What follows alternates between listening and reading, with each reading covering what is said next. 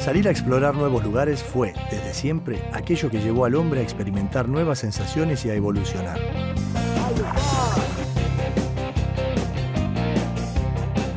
Nos convertimos en seres urbanos, pero nunca perdimos el espíritu aventurero. Ahí está. Soy Wilmar Merino, inquieto, viajero, un poco navegante, otro poco andariego, muy amante de la naturaleza y pescador de alma. Ya lo tengo a 10 o 15 metros. Esto es Expedición Merino, lugares por conocer.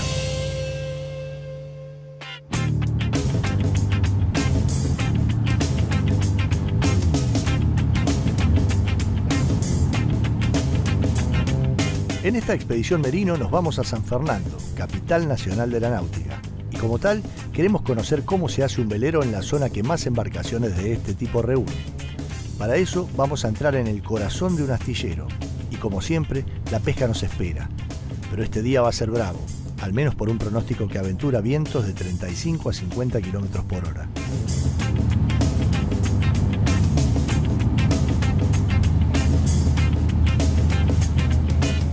Ya estamos en camino. Nos dirigimos al Club San Fernando, ubicado en la zona norte de la provincia de Buenos Aires. Para llegar a nuestro destino, tomamos la autopista panamericana, continuamos por la salida Ramal Tigre hasta la ruta 197, bajamos a la derecha y seguimos unos 3 kilómetros hasta la avenida Presidente Perón.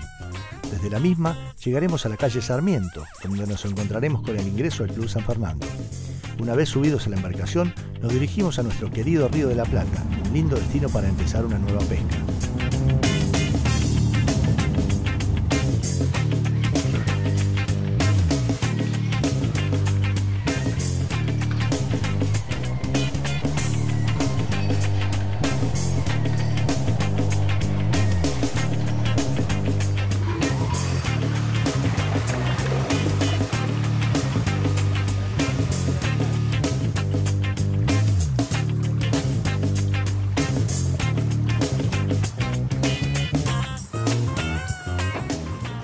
Freddy, querido.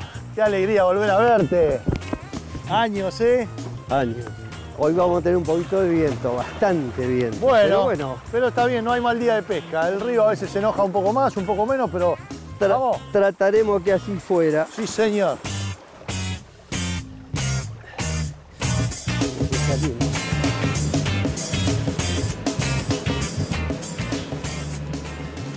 Yo suelo decir que el pescador propone, pero el río dispone, ¿no? Así que, ¿qué plan del día tenemos hoy que está tan crecido y con es- este viento? ese es- hoy es un día que el río dispone. En realidad eh, tenemos mucho viento del cuadrante sur, lo que hace que la ola sea demasiada y, y encima tenemos peligro de creciente. Pero bueno, vamos a aprovechar antes que empiece a tirar eh, la creciente en realidad, porque en estos momentos está en bajante, imagínate ahora cuando venga la creciente. La creciente es buena marea, ¿no? Para el peje. Es buena marea, a mí me gusta más pescar cuando para el agua y empieza a entrar agua, me gusta más para el pescado. Además, estamos saliendo al mediodía porque a la mañana había 50 kilómetros de viento. Exactamente, ahora se, se entornó un poquito hacia el sudoeste, Sí. cosa que nos va a dejar navegar por la costa y vamos a tratar de, de hacer eh, lo que es una excursión barata para poder divertirse sacando algunos pescaditos.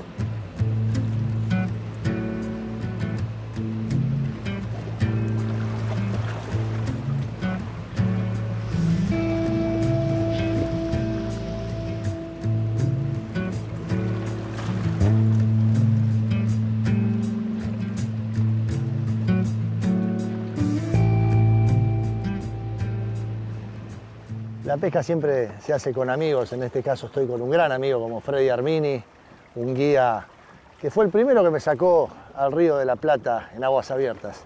Y a veces la pesca se hace con amigos invisibles. En este caso quiero detenerme en este gesto. Una línea dedicada, con mi nombre grabado.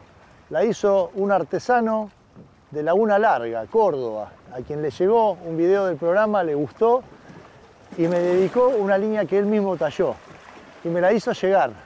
Así que hoy le vamos a hacer el homenaje. Hoy voy a, hoy voy a pescar con las lagunas de- del artesano eh, Aldo Bigatón de Laguna Larga, Córdoba. Vamos a ponerlas Wilmar a ver si la quieren los pejerreyes. Gracias, ¿eh?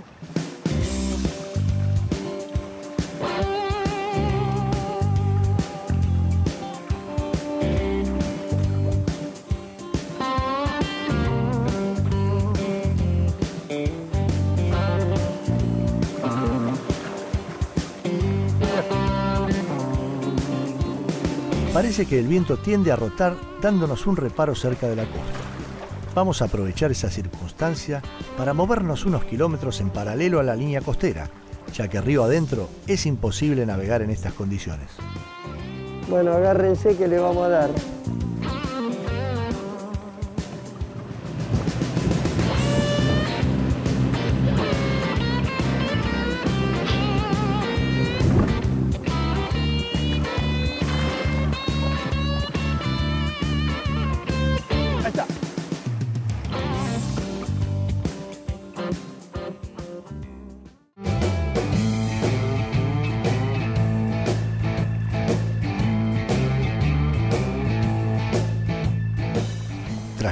Primeros piques, nos movimos buscando mejores tamaños.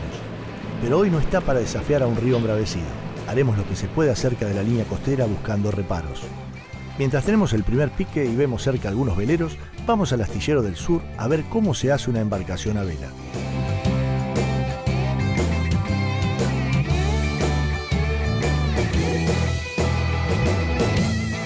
¿Cómo te va, Esteban? ¿Qué tal? Gracias por este, permitirnos ver tu trabajo acá. Por lo que veo, fibra de vidrio. Vas a hacer un laminado en fibra. Sí, sí, sí. Material que cambió la historia de la náutica, ¿verdad? Exacto. Este, esto hasta los 50 lo- las embarcaciones eran dominio de la madera casi Vale. absoluto y a partir de los 50 se abarataron los costos, se permitió una fabricación mucho más práctica, ¿no? Mucho más práctica. Contame, ¿qué es lo que va a ocurrir con esta lámina de fibra que estás por poner acá? Nosotros ayer pintamos con Shelco blanco Sí. la matriz para empezar a laminar el día de hoy. ¿Con qué pintaste? Shelco blanco. Shelco, ¿qué es el Shelco? Es la pintura que tenés de base. Bien, Arrancamos con Shelco, dejamos secar un día, al día siguiente arrancamos a laminar. ¿qué significa laminar? El laminado es colocar un mat, que es el espesor de la fibra, Sí. una fibra 300, con resina de poliéster. Ok. Esto, digamos, digamos, forra, por decirlo mal, el, el Sí. barco y luego que, cómo se integra a la, a la embarcación esto. Bueno, una vez que vos colocas la fibra, ahora vamos a ver el laminado en eh, con resina. Sí, dejamos secar y al día siguiente se desmolda. Entonces la parte que vos tenés pintada se desmolda con la resina y la fibra. Entonces te sale toda una, un- vamos a decir, una pieza completa. y hay varias capas que se dan de... Es ese. Según el espesor, según la pieza que tengamos que hacer, por lo menos esta pieza es el interior de un barco, lo que sería el cielo raso o plafón le llamamos nosotros. Perfecto. Es un laminado sencillo, lleva 2.300, refuerzo donde van los mamparos, que es la parte estructural, y se termina ahí la pieza. ¿Cuánto lleva el proceso final de...? Y esta, pie- esta pieza, por ser un barco de un 28 pies aproximadamente, nos lleva a nosotros un día y medio terminarlo. Después va ensamblado a la cubierta, que es la pieza que está atrás, la matriz naranja. Bueno, vamos viendo el proceso mientras lo, lo hacen. Dale, dale. Astillero viene de astilla, que es un pequeño trozo que se desprende de la madera. La madera era el material del que estaban hechas todas las embarcaciones antes del uso del plástico para esta labor. Todas las naciones que sostienen un comercio marítimo de cierta importancia se han preocupado por crear astilleros para fabricar buques mercantes y de guerra. Pero para la industria náutica liviana, plásticos y resinas son los materiales que mandan.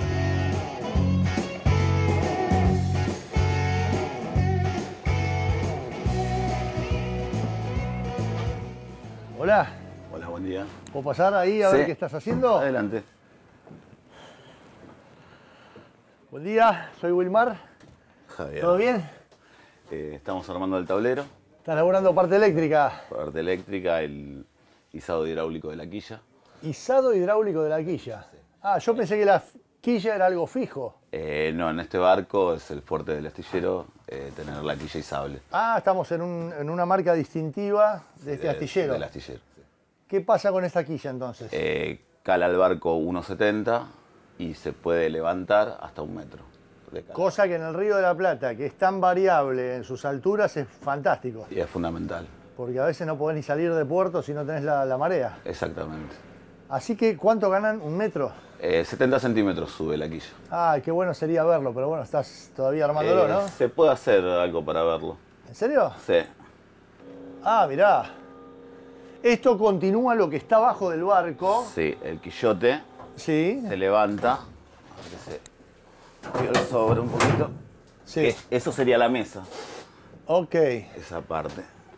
Y la quilla sirve para estabilizar la navegación del barco, que no role. Eh, plano lateral del barco y, Claro. y estabilidad.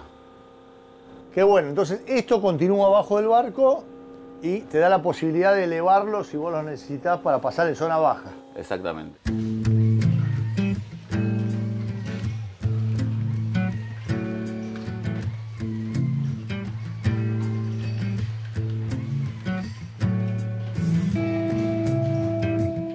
¿Qué se construye aquí o qué te pueden venir a demandar a vos acá en el Astillero del Sur? Nosotros nacimos con el proyecto de un 24 pies, eh, con quilla y sable, que fue el fuerte, el fuerte del astillero básicamente fue el- el- la, la- la innovación y la novedad de la quilla y sable, dado que en el Río de la Plata hoy con, con las bajantes, con los calados que manejamos en el canal costero, se hace imposible navegar con barcos con quillotes convencionales.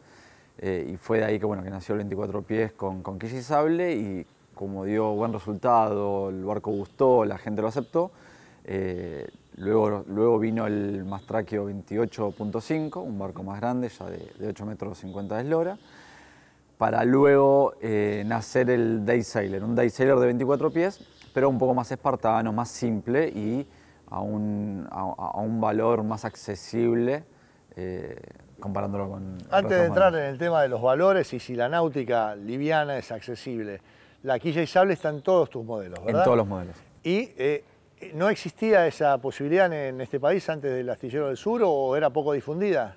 Eh, existía, pero no como quilla y sale, sino como eh, embarcaciones con orza, que no es lo mismo.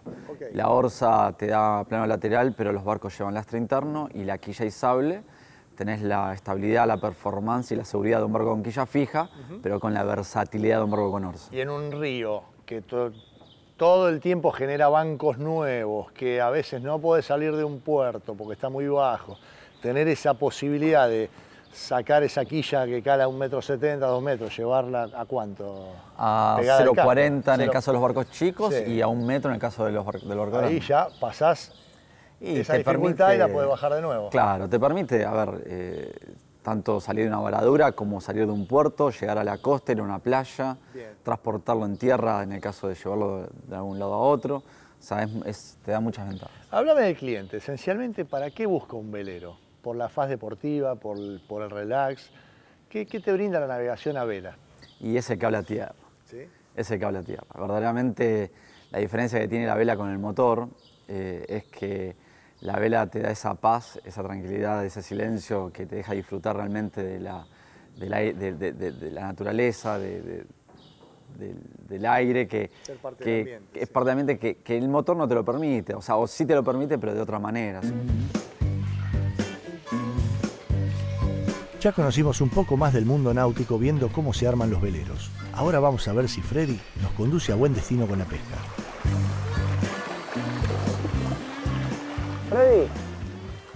Se llama esto que tenés en la mano? Esto es una brújula, no brújula. falla. ¿Sabés que la brújula, mirá, es el símbolo de Expedición Merino? ¿Eh? Ah, la gorra. ¿Qué tal? Mirá vos. ¿Eh? Expedición Mérida. Así que mira vos, reencuentro con un amigo, esto era imprescindible, tiempo ya para, para moverse en el río, ¿eh? pocos saben usarla. Fundamental. Y pocas brújulas son las que sirven. Claro. Vos, por ejemplo, ves cómo yo la muevo Sí, y no hace este, el vaivén para atrás y para adelante. Eso es una buena brújula. Claro, Haces claro. así, ¿ves? Y donde parás, para. claro. Vos en una brújula haces así y la brújula hace boom, va, viene, va, ¿Cuán- viene. ¿Cuántos años hace que la tenés? Y esta hará. Y, y hará 40 años. Se cambió de lancha, pero la brújula siempre, La siempre te acompañó, ¿no? La brújula siempre la misma.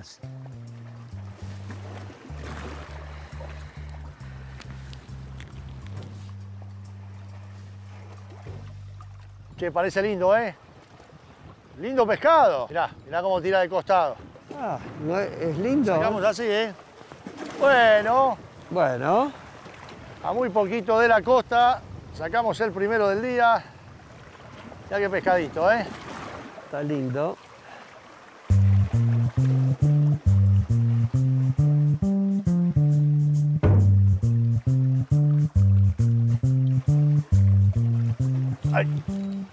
Lo puse, lo puse. Tengo uno chico. Ahí viene el chiquilín de la punta. ¿Cómo pesca ese punterito loco, eh? Vamos Vamos sumando, vamos sumando. Por lo menos entre cancelar la salida y hacer lo que se puede, ¿eh? vamos divirtiéndonos con una pesca de flechitas de plata en la boca aquí del río Luján y el río de la Plata.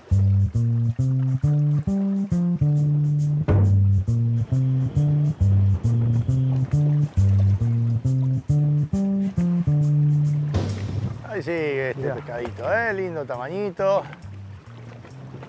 Vamos sumando, vamos sumando con los pejerreyes. ¿eh?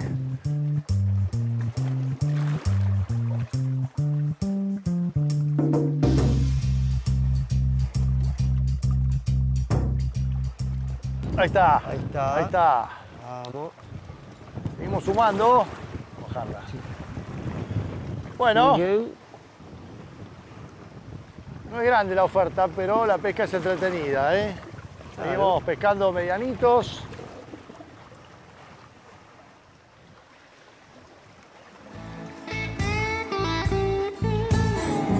Freddy estaba preocupado. Sabía que los mejores pejerreyes del Plata estaban río adentro, pero hoy era imposible navegar con semejante viento. Y además había otro peligro al volver, el de una crecida con su destada que inundase los caminos de salida. De ser así, tendríamos que esperar a que baje el agua para salir de la marina.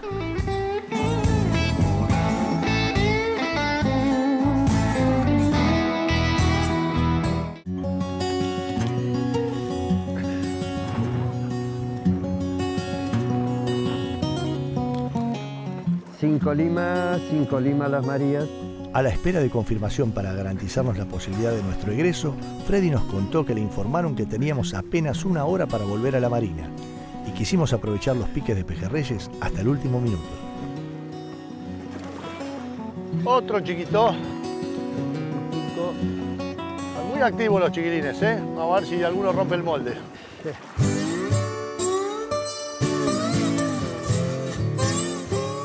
Como si no sobraran dificultades en un día bravo, nos quedábamos sin carnada. Por eso Freddy fileteó un dientudo para prolongar la faena. En la naturaleza nada se pierde, todo se transforma en energía, en alimento para otro ser vivo. Vamos a poner un filecito de la carne hacia el cuero. ¿Por qué de la carne hacia el cuero? Porque si después se hincha en el agua la carne no nos tapa la punta del anzuelo. Así, lo quito. Con esto ya, estamos pescando. ¿eh? El pejerrey se lo va a acomodar en la boca. Como vemos, un bocado generoso. Esto va a andar bien.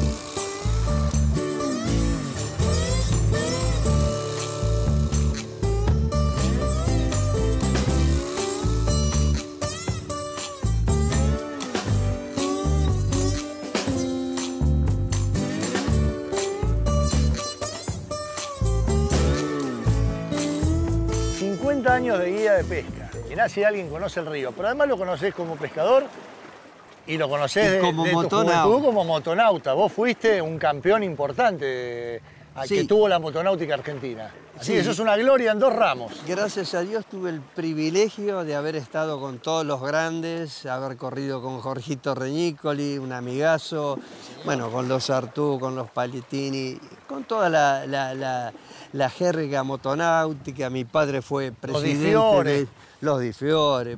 El señor, esos apellidos que está nombrando han hecho la historia grande de la náutica de la sí, Argentina, de la sí. motonáutica. Eh, bueno, Y- no sé si ha llegado a correr también en los lagos de Palermo. Ahí fui subcampeón argentino detrás de mi padre.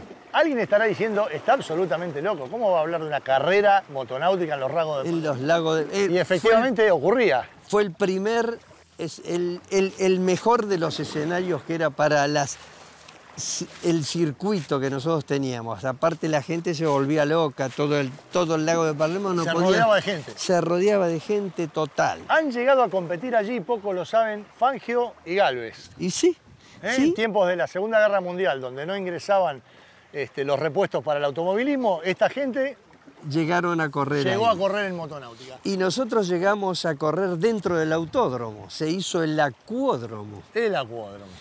Qué loco. Se inauguró, yo soy socio fundador del mismo, pero ¿qué pasa? Teníamos un problema, que el agua era salada. Entonces, como el acelerador era todo en cable de acero y, y- y- y transmitía la corriente de los motores que estaban sin carcasa con los magnetos, y por el cable el, el acelerador parecía que estabas en una silla eléctrica. Qué locura, qué tiempo. Así que bueno, tuvimos pero este que era tu escenario natural, ¿no? El Ah, río no, de la sí, Plata. Sí, el río de la Plata. Bueno, yo lo. Papá tenía un barquito, yo de chiquito le sacaba el chinchorro y me venía al medio del río. Claro. Varias veces me tuvieron que ir a buscar. Pero no había celulares, no había Nada, GPS. nada, ¿no? nada. Estamos Pero hablando. Ahí uno fue aprendiendo dónde está el agua, dónde no está el agua, según el viento de qué lado. Y ahí eh, decís, ¿cómo puede ser que uno lea el agua? Totalmente. Bueno, ahí se aprende a leer el agua. ¿Qué es lo más lindo que te dio la pesca? Lo más lindo que me dio la pesca es, es- es que si yo volviera a nacer, volvería a hacer lo mismo.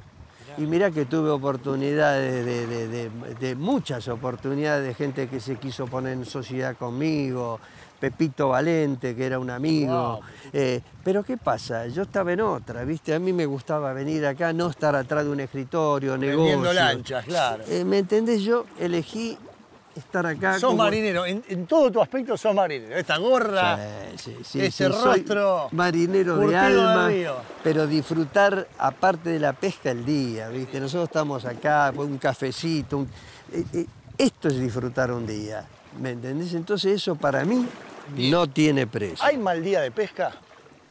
Mal, ¿O mal día de pesca? Mal o, día- o siempre un día de la- pesca algo la te deja? pesca vos sabés cómo es, es como ir al casino. Con eso te dije todo. Está muy bien. Un día haces un desastre y al otro día sacaste poco, mucho. Pero ¿qué pasa? Si a vos te falla la pesca, que no te falle el día de poder disfrutarlo, ¿me entendés? Con los amigos, un sanguchito, Bien. un radio, es decir, música, lo que sea, pero disfrutar la salida.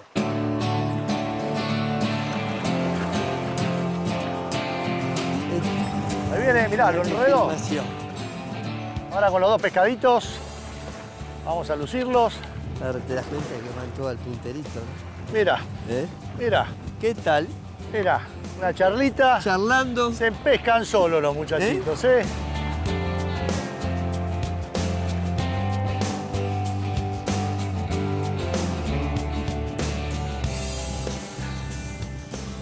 No falló, ¿eh? Bueno, es la pesca del día. Hoy, hoy fue una jornada de pejerreyes chicos a medianos. Vamos a devolver este chiquitín, que no da la medida siquiera. Vamos a ir por este lado. Ahí va.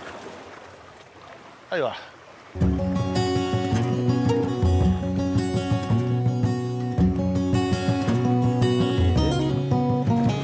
Sí, ahí va.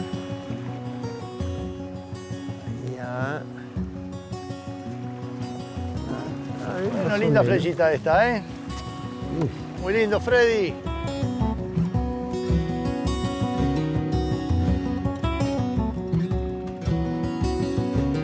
Ahí está, ¿eh?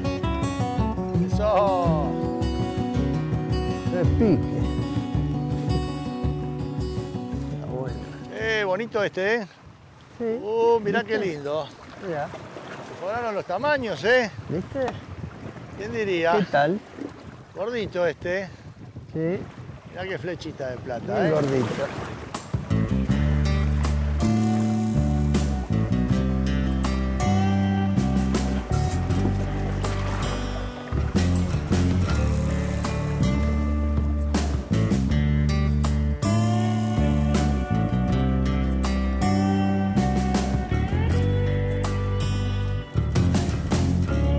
La navegación a vela te pone en contacto con los elementos, agua y viento, velas infladas y placeres de rumbos lentos pero muy disfrutables. Y quienes hacen esas embarcaciones le ponen el alma detrás, pasando a la acción de construirlas después de mucho haberlas disfrutado a lo largo de una vida de navegantes. Pero también están los otros nautas, los del motor, que quieren llegar rápido a destino y aman la velocidad. Ahí se enrola nuestro guía Freddy Armini, ex campeón de motonáutica y pionero entre los guías del Río de la Plata. Reencontrarme con el primero que me sacó a pescar en aguas abiertas después de 20 años cierra un hermoso círculo en una jornada marcada por el amor a la náutica y el valor de la amistad. Freddy Armini fue un campeón de motonáutica en tiempos de circuitos arriesgados, tanto en el Río de la Plata y el Delta como en nuestros cercanos y porteños lagos de Palermo. Sí, porque allí en Alcorta y Pampa los pilotos más avesados del país hicieron rugir sus motores.